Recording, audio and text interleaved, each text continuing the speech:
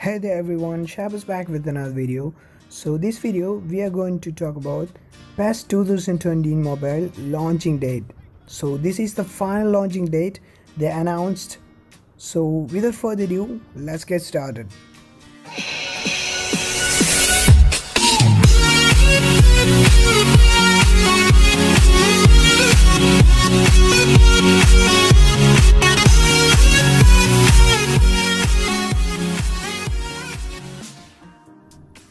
So if we go to the inbox section on the news we can see a third one large scale maintenance PES 2020 pre-open notice.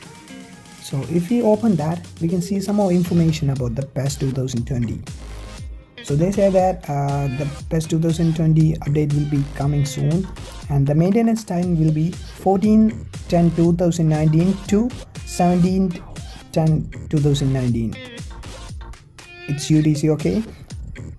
So it will be four days continuous four days will be maintenance. And after that they will announce the new PES 2020 mobile. Maybe we can assume that. So they are giving some more information.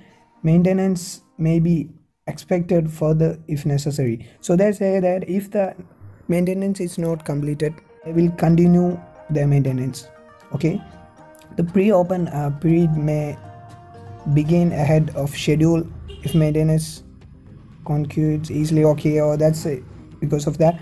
Uh, purpose of maintenance. Okay what is the purpose of maintenance?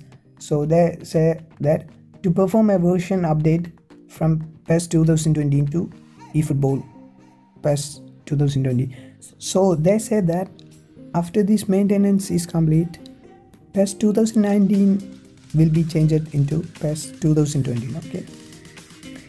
How will large scale maintenance impact my game? Will be able to launch the game during scale maintenance able to proceed behind the title view okay they say that we cannot open PES 2019 mobile when the maintenance is going on. We can't play any game just will be on the title page. Online service start time. Okay there's about the starting time and some more details are here. And also uh, there is uh, official site link. You can check more information from that. So that's it for this video guys. So don't forget to subscribe to this channel for upcoming PES 2020 mobile videos. So please subscribe turn on the notifications like share and that's it for this video. Have a nice day